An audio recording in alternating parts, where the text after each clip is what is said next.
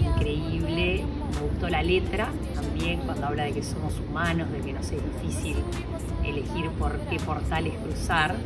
Creo que, eso lo sentimos cada uno de nosotros cuando tenemos que tomar decisiones en nuestra vida.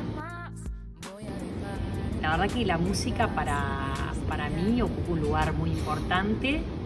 Eh, disfruto muchísimo cantando, me acuerdo mucho de las melodías y de las letras de las canciones, siempre que estoy contenta estoy canturreando algo por ahí y además como que uno siempre recuerda canciones que, que las fueron acompañando.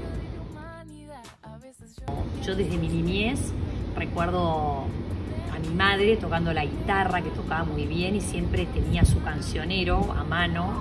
Todos cantábamos entre los hermanos las canciones infantiles primero, después otras que ya no eran tan infantiles.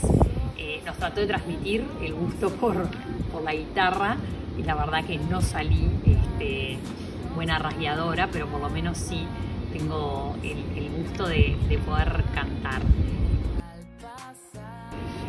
Hoy a todas las niñas que se están planteando ser compositoras y creadoras de música acá en Uruguay, eh, les digo que sí, que se animen, que empiecen a escribir sus canciones desde ahora, que le pongan la música que quieran, que se la cuenten a toda la familia para que les dé para adelante, que a esas familias que las apoyen muchísimo.